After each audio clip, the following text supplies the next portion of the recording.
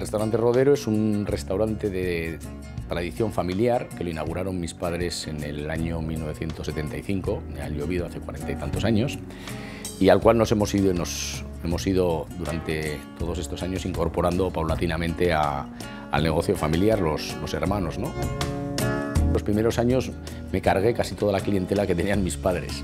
¿Por qué? Pues porque ya era una clientela que tenía unos gustos adquiridos, unas formas de... Claro, y yo vine con toda mi juventud y dije, no, esto hay que hacerlo de otra manera.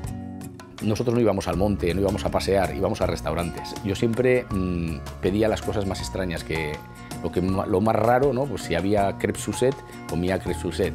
Me apasionaban las ostras con seis años. Todos esos sabores me han apasionado y quieras o no vas creándote una, una memoria gustativa ¿no? en la infancia, que es muy, muy importante, porque mmm, irá contigo durante el resto de, de, tu vida. Respetar la temporalidad me parece algo fundamental, el que bueno, pues cada, los productos tienen su temporada y cada temporada tiene sus productos, ¿no?